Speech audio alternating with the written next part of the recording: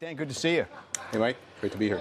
Uh, set us up for PayPal. I mean, the stock has kind of uh, been in the wilderness for a little while, it seems. There's some concern about fee compression or the take rate, but trying to maybe bottom out there in terms of the fundamentals. So, what can we expect this afternoon? Yeah, I think the key thing, I mean, the key thing that got this, that killed the stock in the first quarter, it was down like 20%, is that take rate compression.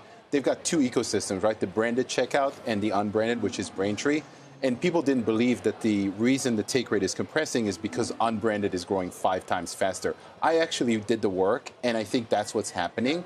What we expect here in the second quarter is basically them to beat what they guided to. They should do at least double digit organic growth in the branded side. And if we see that take rate compression abate a little bit, I think the stock's going to rip. Is that not a concern, even if it is kind of them losing market share to themselves in a lower margin way on an ongoing basis? Yeah, I mean they're losing. They might be not losing market share to themselves, but I think what's happening is they have to basically the growth be, differential. Correct. They yeah. have to be in that space because you know if they're not in that space, they're going to lose share to Adyen. They're going to lose share to. Um, you know, Stripe, they mm-hmm. have to be in that unbranded space. And by the way, it helps them actually get access to more merchants. So it's a an offensive and a defensive move at the same time.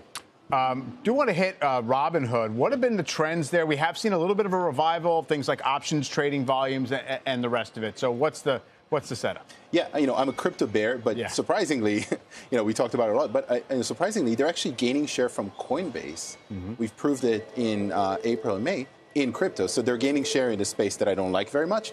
That being said, they're killing it. They're crushing it on options. Contract volumes or contract prices are actually coming down because of the VIX is coming down, volatility is coming mm-hmm. down. The most important thing on Robinhood, and that's going to make or break the stock, is the um, margin growth because they're saving a lot of money, and also retirement. Mm-hmm. This is a big initiative. If they do well on retirement, if they give you a few data points on retirement, this is going to make the stock work really, really well. Yeah, I guess the, uh, the, the bid there is to broaden the franchise out, obviously beyond transaction pricing. Just quickly, I did want to hit on SoFi, which has been a story for for several days right now. Uh, big rebound on the uh, their numbers, and, and, how does the stock set up now valuation wise?